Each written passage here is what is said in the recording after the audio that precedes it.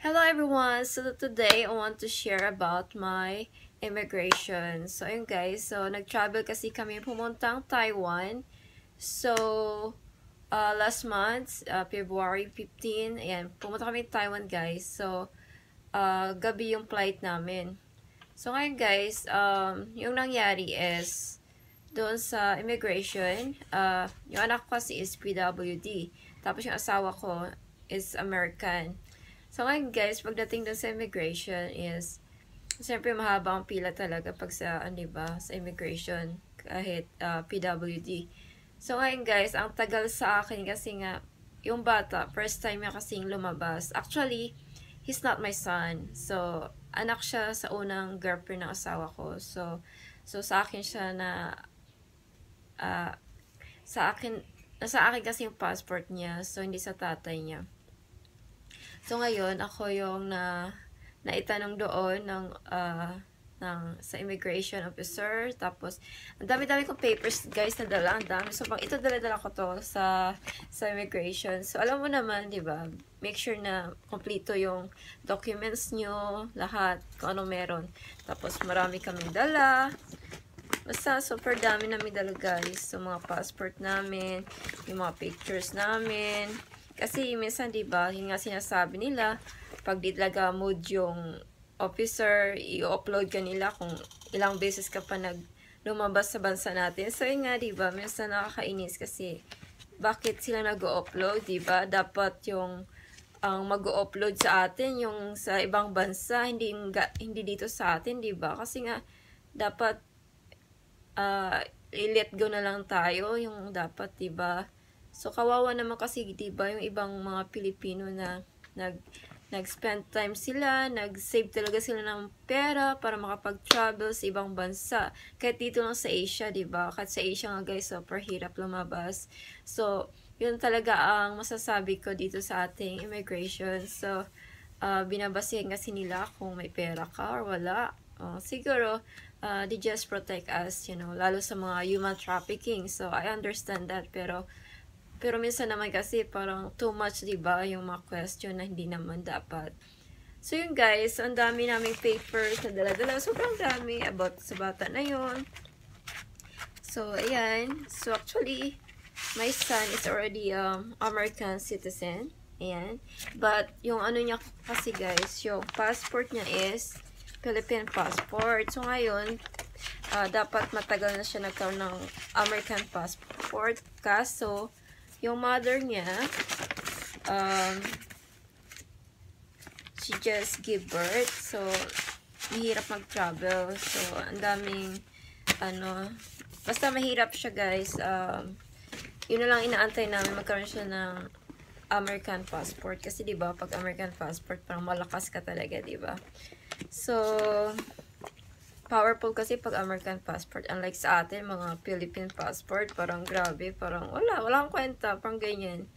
So, yun nga guys, yung sa akin, so, yung sa immigration officer, so, siyempre sa akin yung bata, so, sa akin natanong lahat yung documents, meron kami. So, super, uh, that time naman, okay naman yung officer, mabait naman si kuya. Shout out dun sa kuya, sa officer na yun. Tapos, um, uh, yung, uh, yung question nilang sa akin is, uh, paano napunta yung bata sa amin? Uh, kaninong anak yan? Bakit nasa amin yung bata? Ilang taon yung bata? Nasa yung mother niyan? So, mostly ganun lang yung tanong niya guys. So, yun, nasagot ko naman siya so far. Tapos, sabi ko, um, meron kaming authorization galing sa mother niya. Kasi guys, nagpagawa kami ng authorization sa mother niya. Kasi na pwede siyang lumabas ng bansa. Tapos, um, kasi nga guys, alam mo naman sa atin, di ba, pag uh, four half pa lang kasi siya. So, siyempre, nagtanong yung immigration, bakit nasa amin yung bata. So, sabi ko kasi, nagtitherapy yung bata. So, um, kailangan niyang mag-therapy, kaya nakuha namin yung bata. So, merong, yung bata kasi guys, meron siyang epilepsy saka delay, delay speech siya. So, nagtitherapy siya dito sa, sa amin. So, kaya nakuha namin yan last time kasi uh, nag-50-50 siya. So, that time kasi yung mother niya pregnant. So, she have another already husband. So, they're already separated. So, so yun guys, um, yun nga ang na, ang na-encounter ko lang sa, sa immigration natin. So, far naman, uh, sa akin walang tanong. Mostly kasi sa bata lang yung tanong. Kasi pag first timer ka kasing lumabas guys, ang dami question. So, ngayon, uh, sabi ko doon sa officer, he's uh, American citizen. Tapos, ayun, pinakita ko yung authorization ng mother niya. Tapos, tapos sabi ko, if you want, uh, just call her mother. I have number. So, hindi naman niya tinawagan. So, for in case lang guys, no, dapat maging prepared tayo lagi sa, sa mga tanong ng mga immigration dito sa Pinas. Pero, so yun naman. So, um, ako kasi guys, um, four times ko nang lumabas ng bansa. So, two times ako nag-OFW. Tapos, third time, lumabas ako sa sa ngayon sa American, naging asawa ko ngayon.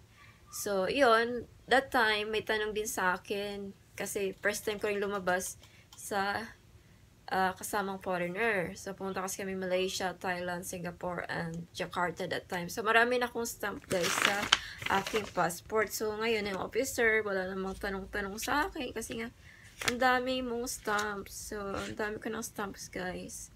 So, yan. Meron akong Qatar dyan, whatever. So, kasi nag-work ako doon. So, yun lang naman guys ang masishare ko about sa ating immigration. So far, uh, okay naman lahat. So, ngayon naman guys, pagdating doon sa sa what you call that?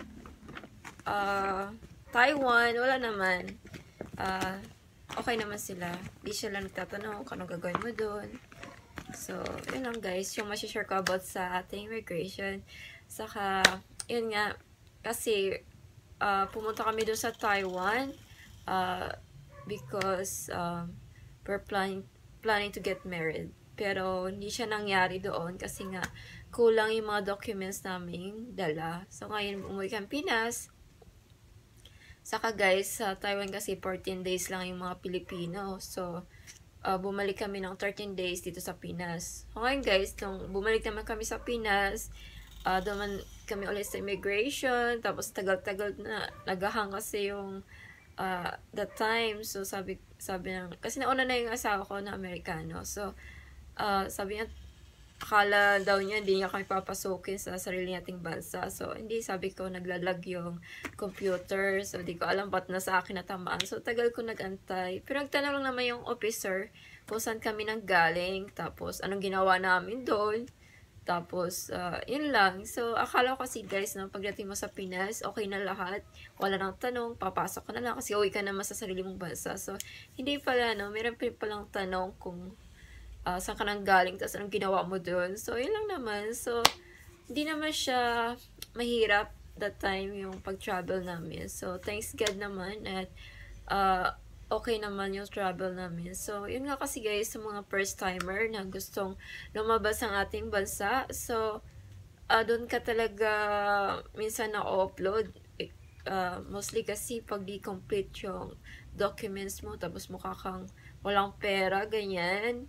So, buti ako guys, that time kasi, kung sakali man magtanong ng immigration, uh, meron naman akong business permit, saka bank statement. So, kung maghahanap sila ng mga documents, so meron naman, meron naman akong uh, ipapakita. So, yun nga lang, wala akong yearbook. Joke. so, yun guys, um, ang masasabi ko lang is, lalo sa mga first timers, yun, lagi kayo maging prepared, tapos pray lang kayo na sana yung ating officer. So, pero ngayon guys, parang feeling ko, binibigyan ng action yung ating immigration, di ba? Kasi ngayon, sinasalang na sa ating, ano, so, sana mabigyan ng katarungan yung iba kasi nga kawawa. Kasi minsan yung mga ticket, hindi siya refundable. So, okay lang sana kung refundable, di ba guys? So, kasi naawa talaga minsan. So, last last time din, nung, nung nag-travel kami, may na-upload. So, pupunta kasi siyang uh, Dubai, yung lalaki. Tapos, in-upload siya kasi nga, feeling ko, ano, uh, feeling nila mag-work yung tao doon sa Dubai kahit meron kang return ticket. So, sana naman, no, huwag sila masyadong advance mag-isip. So, hayaan mo na lang yung ibang bansa, yung problema kung anong gawin natin doon, di ba? So, alis tayo. Yung yun lang sana, yung di, di tayo upload ng sarili nating bansa. Kasi, dapat sa ibang bansa yung mag-upload, di ba? So, yun lang kasi yung mga hinanakit ng ating mga Pilipino, di ba? So, So, sana guys, no, uh, mabigyan ng action lahat yung mga hinaing natin, lalo sa mga Pilipino na citizen, ganyan, lalo sa mga walang pera, yung gusto lang mag-travel, para lang makatanggal ng stress, di ba? Kasi iba naman may work, pero hindi naman sapat yung pera. So, yung iba talaga nag-iipon para makapag-travel kahit dito lang sa Asia. So, yun nga guys. So, sana guys, um, uh, please um, subscribe and comment to my blog and thank you guys uh, god bless you all bye bye